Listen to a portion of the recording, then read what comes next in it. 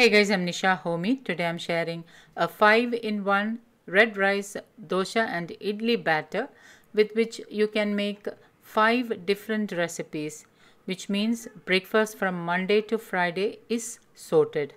Ideal for those with health issues like thyroid, PCOS, diabetes, or for those on a weight loss journey, or for those who simply wants to eat healthy and include more whole grains in their diet. So let's get started with the recipes. To make 5 in 1 red rice dosha idli batter into a bowl, I am adding in 2 cups of red rice. I am using an indigenous variety of red rice known as Poongar rice. You can use any variety of rice like maybe Navara rice or even Mapla Samba. Any indigenous rice variety locally sourced can be used. Poongar rice is also known as women's rice. Poongar rice helps to balance hormones. With the bran intact, it has a fair level of vitamin B complex. Along with fiber, red rice is also rich in iron and zinc. Poongar rice is ideal for pregnant ladies as it has all the essential nutrients in minimum from vitamins to minerals. Next I'm adding in half cup urad dal,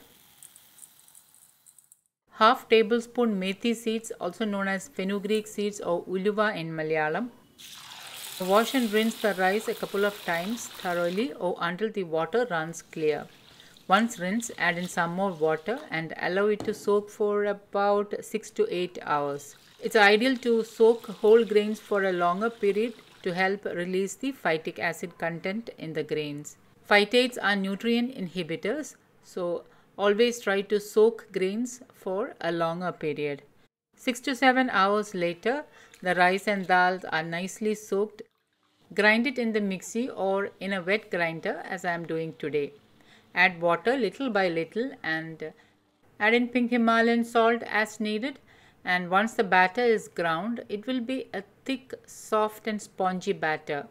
The brown specks you see in the batter are the bran, which means more fiber. Transfer the batter to another container. I'm mixing it really well with my hand.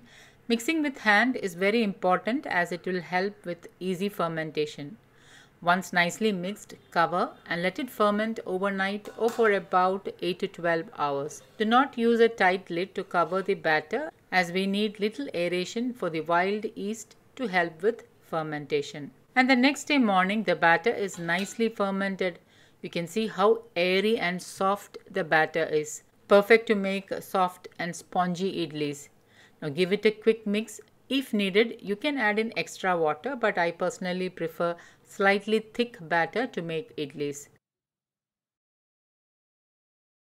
Pour the batter into idli molds and steam on medium flame for about 7 to 10 minutes or until done. Once done, remove to a plate. Soft and spongy red rice idlis are ready to serve. You can enjoy them with sambar or chutney. See how soft the idlis are. Personally, this is my favorite way to enjoy idlis. What is yours? Let me know in the comments. Also, leftover batter should be kept in the refrigerator.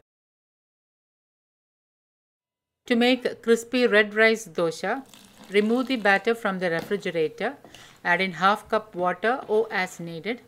Mix the batter. The batter should be of flowing consistency. Heat a cast iron tawa and grease it with wood pressed gingerly oil, also known as til oil, sesame oil or nallenna in Malayalam.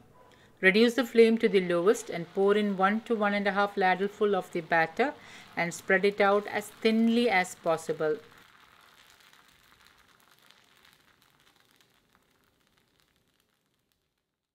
Drizzle in wood pressed sesame oil or you can even use A2 Desi ghee.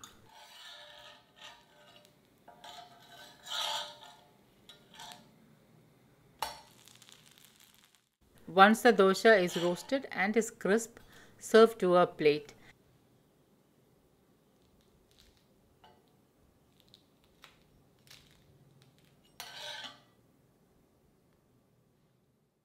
And enjoy the high fiber crispy red rice dosha with sambar and chutney.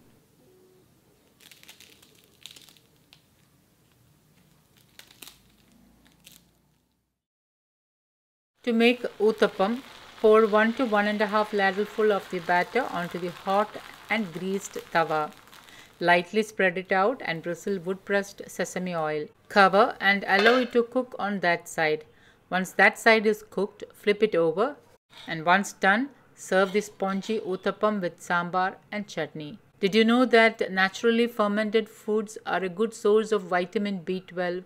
So always try to include fermented foods in your diet for your better health. You can see how spongy the uttapam is. To make onion uttapam, pour 1 to 1 and a half ladleful of the batter onto the greased and hot tawa. Reduce the flame to the lowest, sprinkle chopped onion and finely sliced green chilies. Drizzle wood pressed sesame oil, cover and cook. Once done, flip it over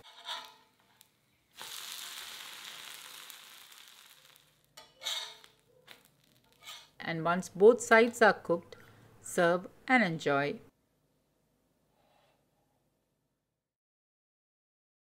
I'm using some fresh curry leaves, 1 onion chopped, 2 green chilies chopped and 1 4th inch ginger chopped.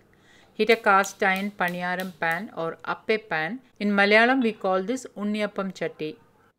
I have transferred the remaining dosha batter into a bowl I'm adding in the chopped onions, ginger, green chilies and curry leaves. I'm tearing in the curry leaves and adding in so that the flavors are released. To make it more nutrient rich, I'm adding in some fresh moringa leaves. You can also use moringa powder instead if you don't have moringa leaves at hand. I've already shared many videos on the health benefits of moringa. Please do check them out. Mix everything really well Drizzle wood pressed sesame oil onto the pan and pour the batter into each mold. Allow it to cook on low flame. Once that side is cooked, flip it over and once all the sides are nicely cooked, remove it from the pan. Enjoy the red rice paniyaram with sambar or chutney. See how soft and spongy the paniyarams are. This 5 in 1 red rice batter will stay good in the refrigerator for up to a week and a great way to meal prep. So guys do try these recipes and let me know in the comments which is your favorite. Thank you for watching and until next time take care. Bye bye.